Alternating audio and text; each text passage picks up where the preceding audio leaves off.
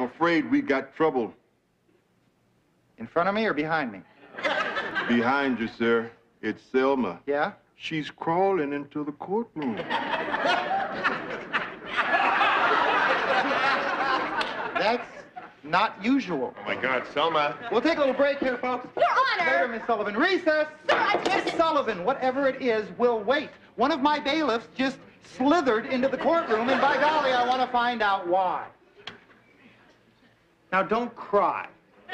I never cry. Right, you have breasts. I forgot.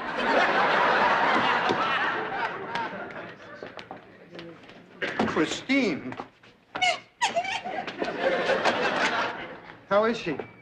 Dusty, Harry. Very dusty. I'm surrounded by a forest of friends. She's stoned.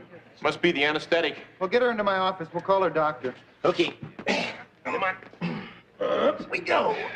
Get as rough as you want, boys. I'm numb.